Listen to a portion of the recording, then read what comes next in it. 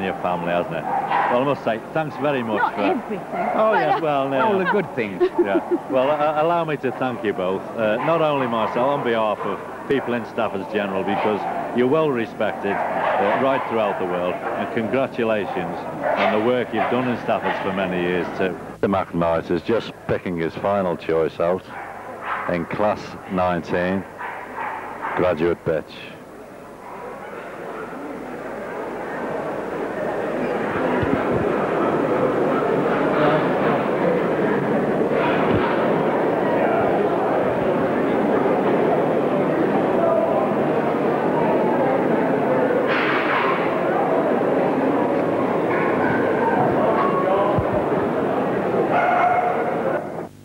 First, both fair blaze away. Black brindle, white legs and front, attractive bitch with shapely head and tidy ear carriage. Like many others on parade, she fitted the operative word in description of balanced, complete with nice bend of stifle and short back. Oh. Second is Hollands's Princess Zoe. Brindle. Apart from colour, these two could carry the same descriptive words depending on how one defines them. I like both, but as always, a decision must be made.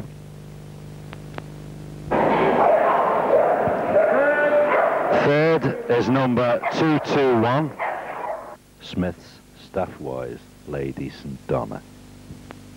Is number 174, VHC is number 174 Um, and HC is number 256. 20, postgraduate bitch.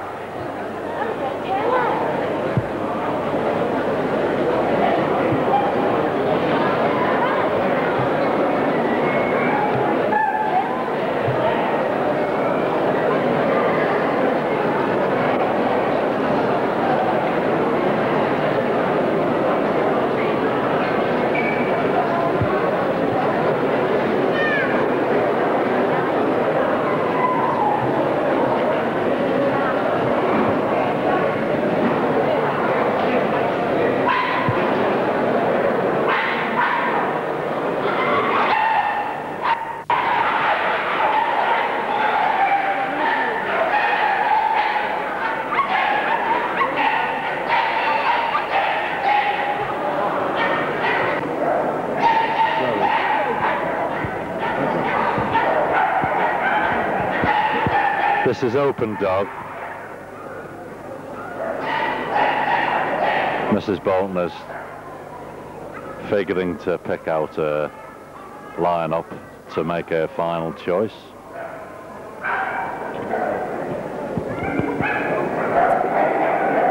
But you must say there's quite a few champions in this class.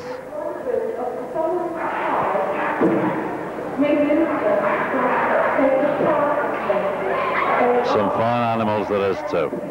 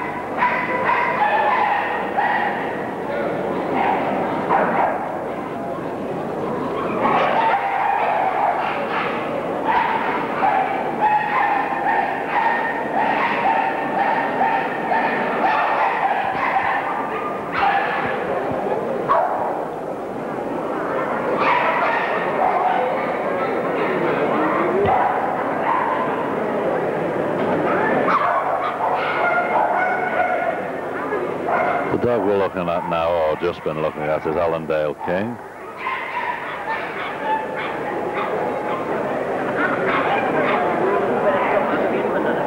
This dog is Tuxedo Warrior.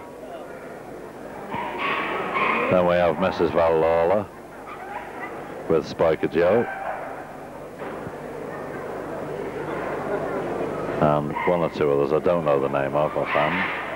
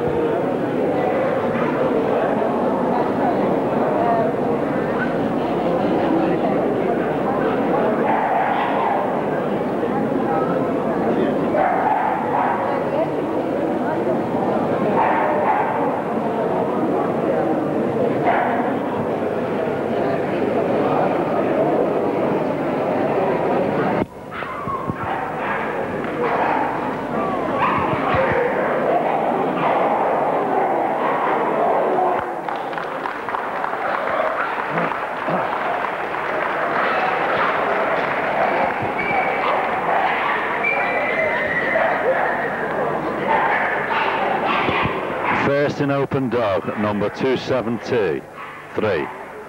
The judge's critique reads, Worthington's Rendon drummer boy of Kazamek, black brindle, teeming with quality, no exaggeration, strong skull, well-placed dark eye, super outline standing, in terrific bloom, very sound in all departments, is superb condition, a credit to his owner, a worthy CC winner today.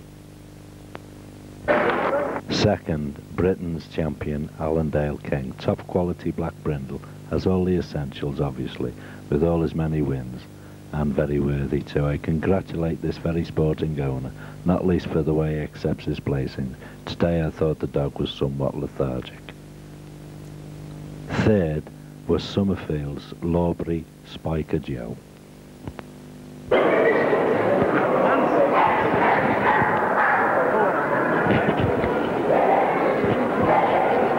Reserve number 257.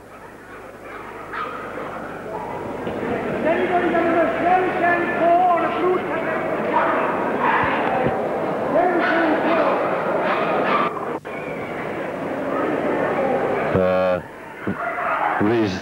VHC has left the ring, also highly recommended. Has left.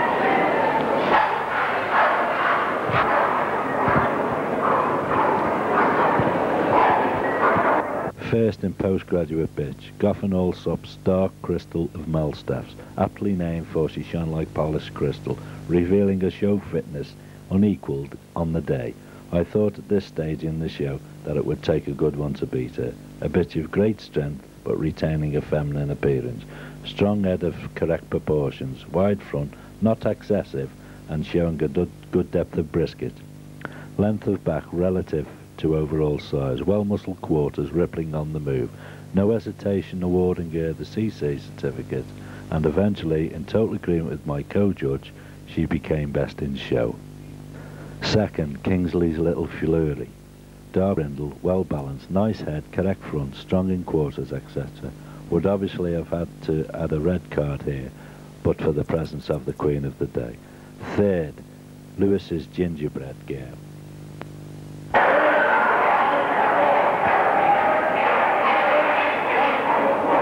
Reserve. Number 248. VHC number 52.